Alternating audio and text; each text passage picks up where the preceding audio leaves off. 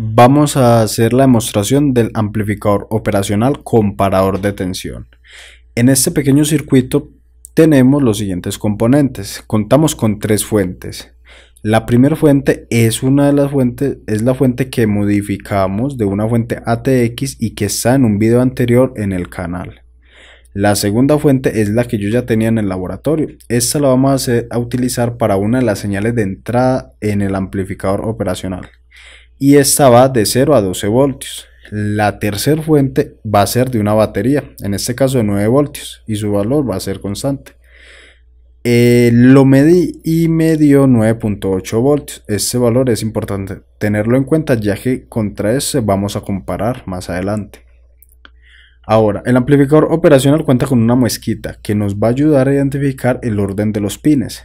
Entonces, al tener la muesquita en este lugar, en el lado izquierdo, viéndolo de frente, tenemos de que el pin 1 es este y va de así. Pin 1, pin 2, 3, 4, 5, 6, 7 y 8.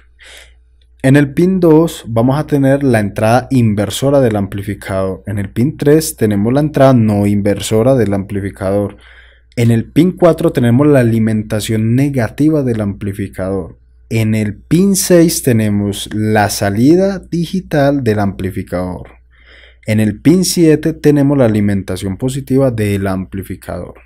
Bueno, en el, en el pin 6, que es la salida, tenemos conectado una resistencia y un LED. Esto para, eh, para este laboratorio en el que vamos a mostrar correctamente el funcionamiento y vamos a identificar pues una vez ya hagamos las comparaciones.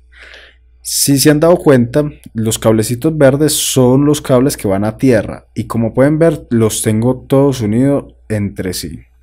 Ya que como tengo tres fuentes diferentes, todas estas deben ir conectadas a tierra para tener en mi circuito un punto común para medir. Eso es muy importante tenerlo en cuenta y no dejarlo pasar. Ahora, eh, vamos a encender las fuentes y vamos a empezar a hacer las pruebas. Enciendo la fuente de que habíamos modificado en el laboratorio y enciendo la segunda fuente. Bueno,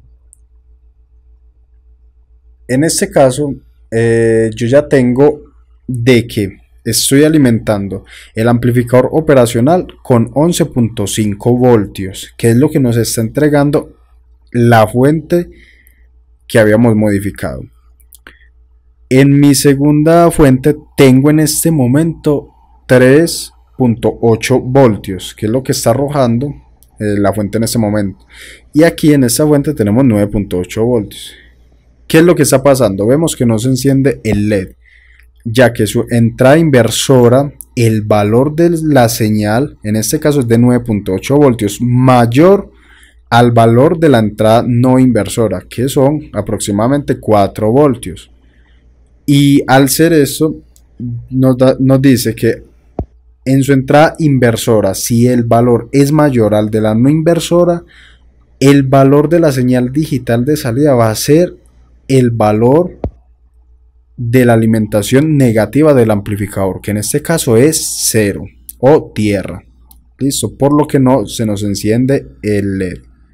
Un LED rojo que por lo general caen 2 voltios sobre él. Ahora vamos a hacer el cambio en la fuente variable y lo vamos a subir a 10 o 11 voltios. Lo va a subir en este caso a 10 voltios. Como pueden ver, el LED ya cambió ya que su entrada no inversora es mayor el voltaje, la señal, al de su entrada inversora. Como lo supera, el valor de la señal de salida es el valor positivo de alimentación del amplificador. Pero ojo, no, no nos está queriendo decir que tenemos acá en este momento 11.5 voltios. El valor de salida es aproximadamente el 90% de la alimentación, que en este caso nos va a arrojar 10 voltios. Pero estos 10 voltios que tengo acá no son los mismos que me está alimentando acá, no. Recuerda que es separado. Si yo en la fuente variable lo subo a 14 voltios, podemos ver que y hacemos la medida, podemos ver que el mismo voltaje de salida en el pin 6 son exactamente los 10 voltios aproximadamente del valor de la alimentación. Recuerde que es el 90% de la alimentación. Este es un ejemplo muy sencillo para identificar y para tener claro pues el funcionamiento de un amplificador operacional comparador de tensión. Espero les haya servido y me sigan en YouTube. Me, me ayudan y me colaboran. Muchas gracias.